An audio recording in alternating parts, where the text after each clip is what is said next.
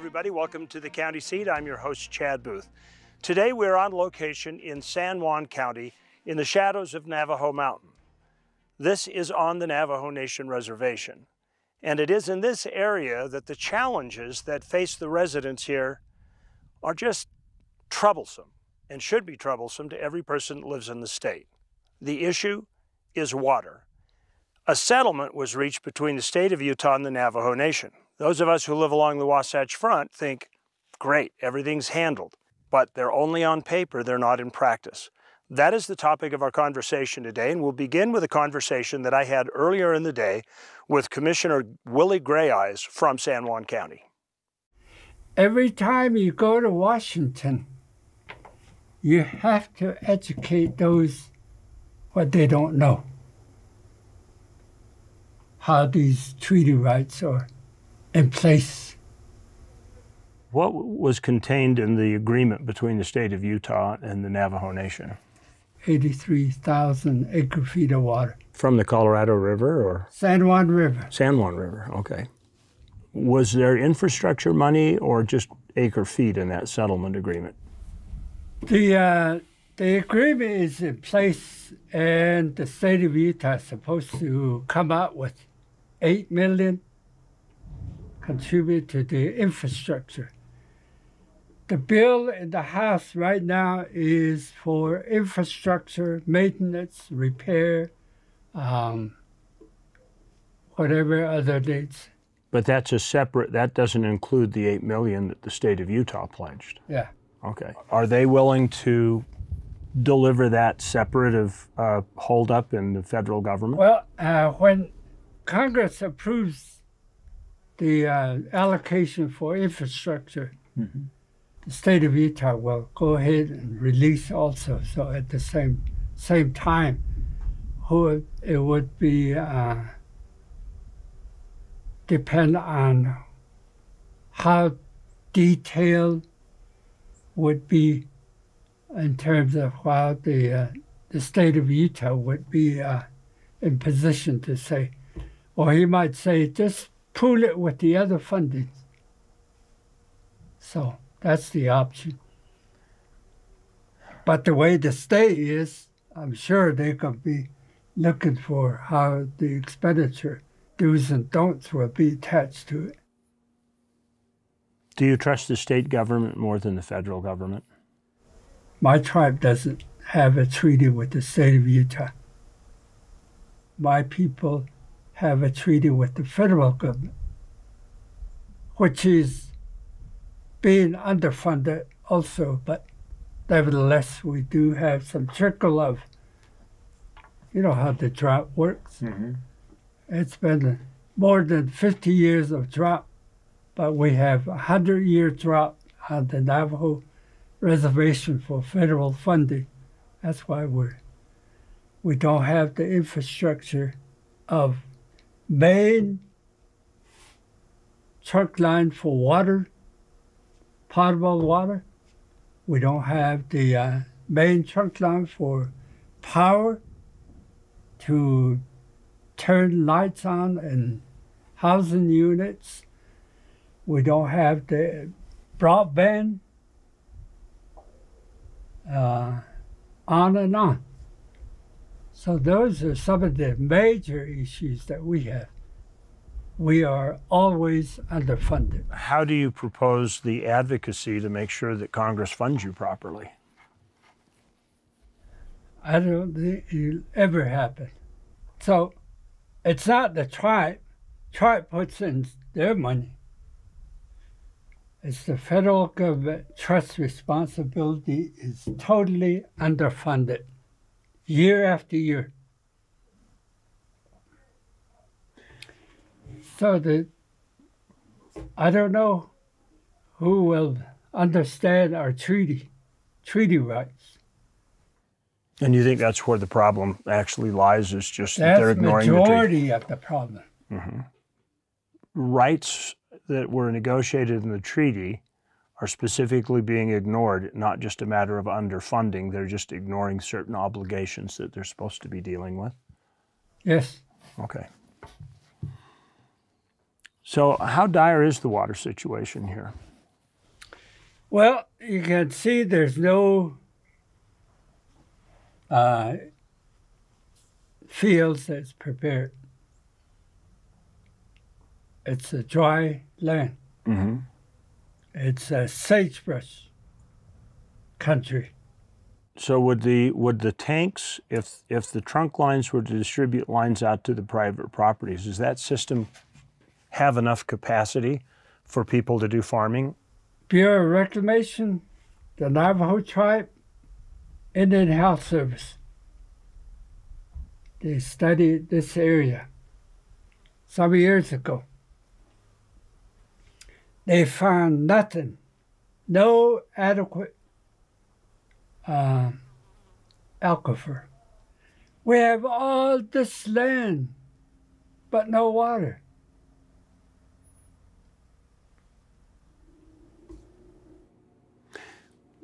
Well, I think what I'd like to do is go see some of this. Okay. So let's let's take a road trip and figure it out. We'll be right back on the county seat.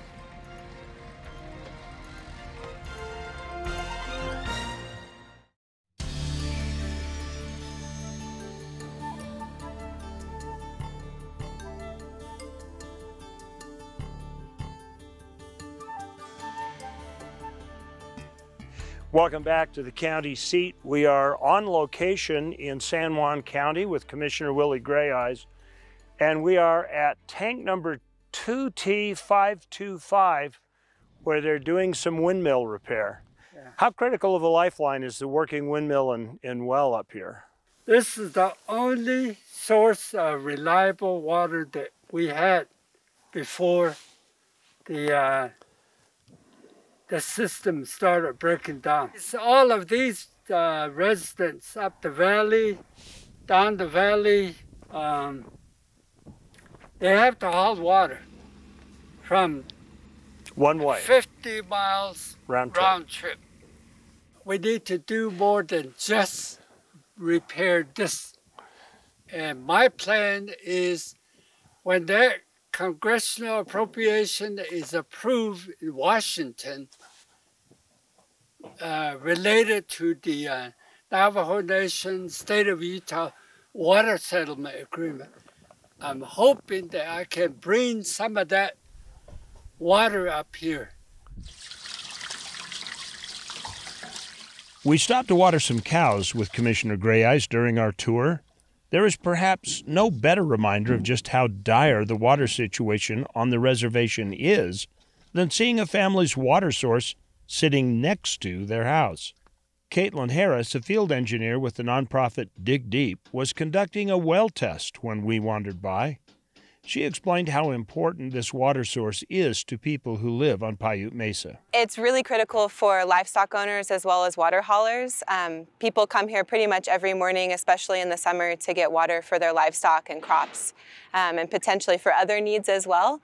And so if it's not working, then they have to drive either all the way down the, the mesa, which is about an hour and a half through sandy roads, or about three hours to Tuba City to get water to fill up. I was just talking to a gentleman this morning who was telling me that when this isn't working, he always goes to Tuba City to make sure that he has water for his livestock.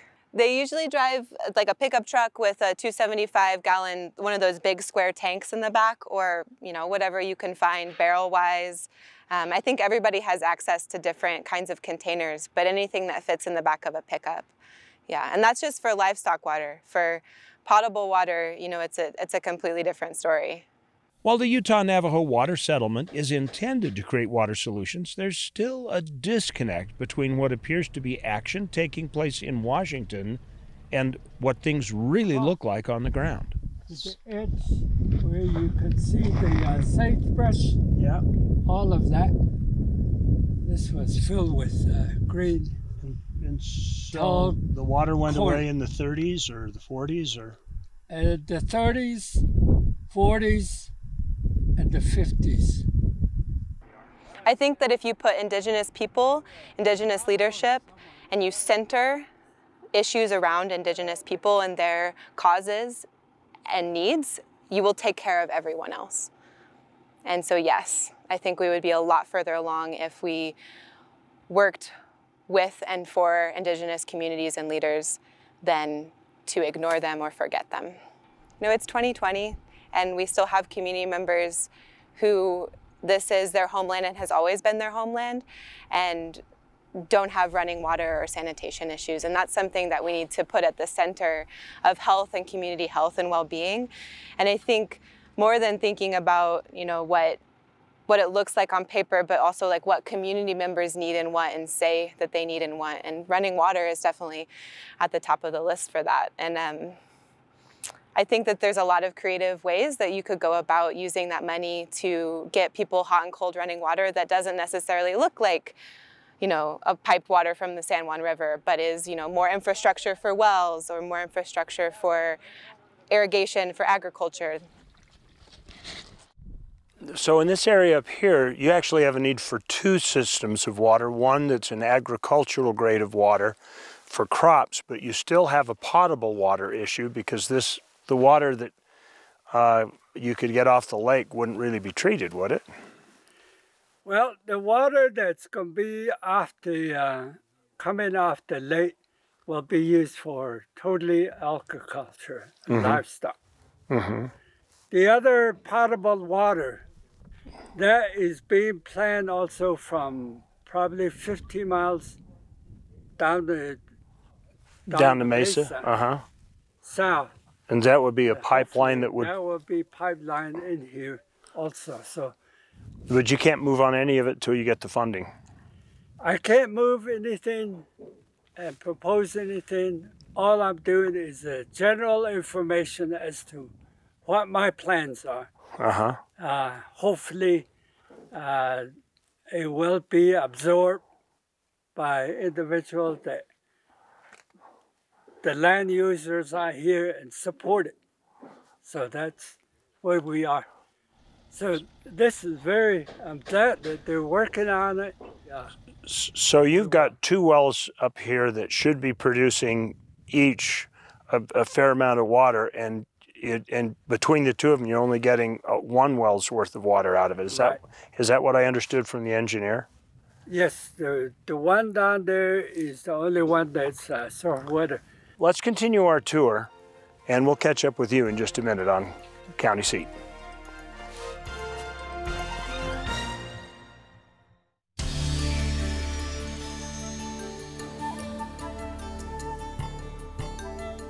Welcome back to the county seat. We are uh, talking about the uh, water situation on the Navajo Nation, and uh, we now are going to take a little bit of time and talk to Senator Mitt Romney from Utah. The senator uh, was uh, able to uh, get some legislation pushed that we had mentioned earlier in our conversation, the Water Settlement Act of 2019, and we want to spend a little time about how that is progressing. Thanks, Chad. Good to be with you. What's the status of the bill in Washington right now? So it passed the Senate, but in order for us to actually get money to the Navajo Nation, we have to, number two, get the House to do the same thing, to pass the same legislation. It doesn't have to be unanimous, but at least has to pass the House. And then the appropriators have to actually appropriate the money which this legislation authorizes. And uh, so the first part's done. We finally got the, the Senate on, on board, the entire Senate, Republicans and Democrats. Now it's in the House. That's a sticking point. We got to get Nancy Pelosi to take it up. I'm sure it will pass if she takes it up. But, you know, the Speaker of the House has extraordinary power, and uh, she decides what goes on the calendar and what does not. So we need the committee that's responsible for this legislation to take it up to uh, uh, report it out of their committee and get a vote on the on the floor of the House. There were two themes that were pretty apparent in uh, my conversation uh, locally out there in San Juan County with Commissioner Grayeyes and with some of the people that we met along the way, and that is that this is a desperate situation. And um, I mean, we went out to one of the main wells that is supporting people out uh, on top of one of the mesas out there, and it was broken. Does some of that get lost in the translation between Washington and on the ground uh, on the reservation? You know, I think that the challenge in Washington is less that they don't understand the need. Uh, it's more the politics of the place, uh, which is uh, the Democrats have decide have to decide what's in their interest, what's going to help them get reelected, uh, what's going to help Ben McAdams uh, get reelected, what's going to help Republicans uh, in, in, in the House and so forth. And so they go through that calculation to decide what to bring forward. And, and uh, because I think there's, there's general recognition that this is a very, very good deal for the United States of America, including the Navajo Nation. I mean, and, and you understand the parameters of this, which is to say, look, we're, we're concerned about going into a multi year litigation setting where the Navajo Nation brings a lawsuit saying that much of the water in the Colorado is theirs.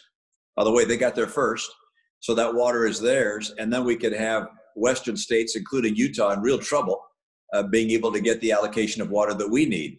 And so the Navajo Nation has said, look, we'll put aside all that litigation if you'll make sure and get running water to our houses, because half the houses in the Navajo Nation have no running water. And so we said, okay, we'll come up with $200 million at the federal level. And the state of Utah came up with $8 million. The state legislatures and, and governors already done this. They, they've said okay to the 8 million. We just need to get the 220 million. And people deserve to have running water, particularly with COVID going around and people sick. It is a, it's a, an emergency. Uh, and, uh, and, and we really need the, the Speaker of the House, uh, as well as members of the uh, of the House to come together and authorize this spending, and then we can get the appropriators to send the money, and we can actually get construction to one to repair the uh, the wells that are damaged, but two to get running water to the houses of people on the Navajo Nation. Thankfully, Ben McAdams has brought it up with uh, with Speaker Pelosi and and is pushing, but we need to get the committee to get on board and move this along. And by the way, we're not the only state that has issues of this nature. There are a number of other states that want to work out arrangements with uh, with Native American tribes, uh, and those issues will probably be attached to our bill.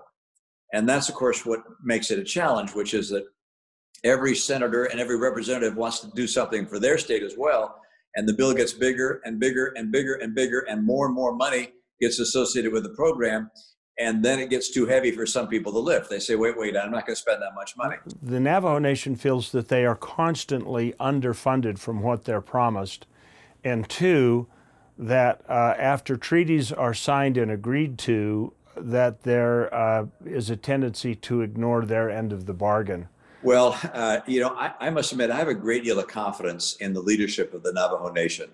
I've had the occasion to meet with the president and with executive committee members, uh, and uh, it's a very thoughtful, uh, uh solid, capable group of people. Uh, and and I appreciate the their willingness to negotiate in good faith uh, with our government to to resolve this issue among others. And the frustration is that we're so slow in, in coming to the table and and and getting something done. I, I do believe that that in this instance uh, we will be able to follow through and actually construct the uh, the water infrastructure which is promised but it's going to require the house to move and then the appropriators. And you know we have a strange setting. Chad you know this but but but i found it strange which is in every state i'm familiar with the people who appropriate money for a particular project are also the ones uh, who have authorized it. Authorization and appropriation go together. But here in washington we have one committee that does the the authorizing and another committee that does the appropriating. So it's a double step process. So it's very, very slow. How much time do you think in a, in the quasi normal world they need to be anticipating before uh, construction actually begins on this development? Probably the earliest that it would be appropriated would be next year, next fall. Uh, and then money would have to be let through contracts and so forth. So it's going to be, you know, at least a year and probably substantially beyond that. Thank you, Senator Romney, for taking the time to visit with us today.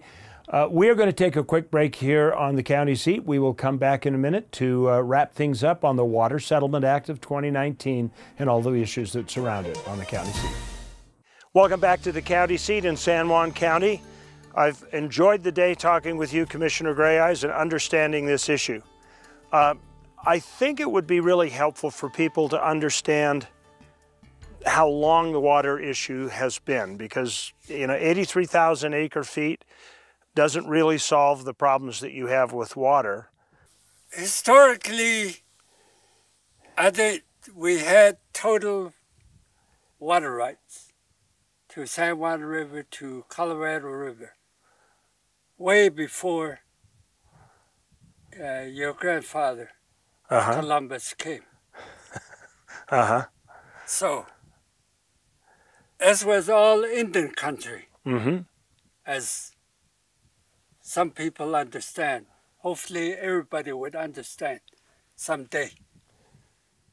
And uh, the use of the water is the federal government that became uh, the trustee.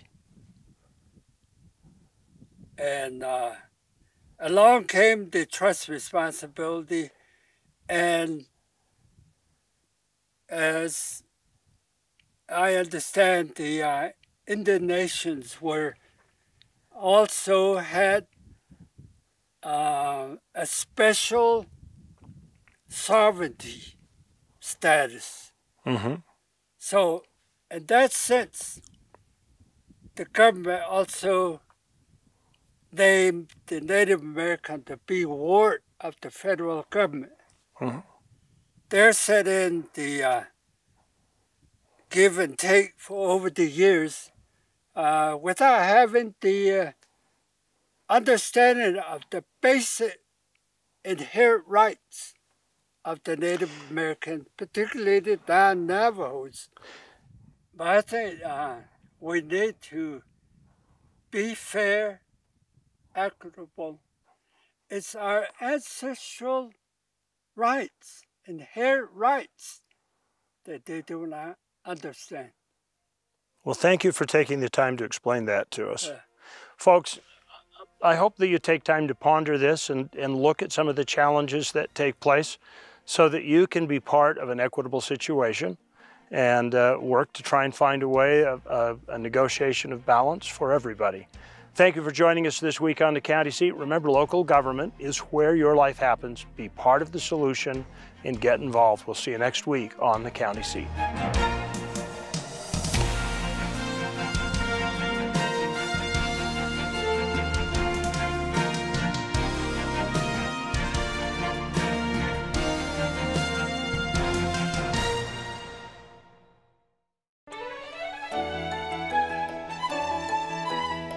Thank you for watching the County Seat. Be sure to subscribe and turn on your notifications to keep up to date on the program and happenings around Utah.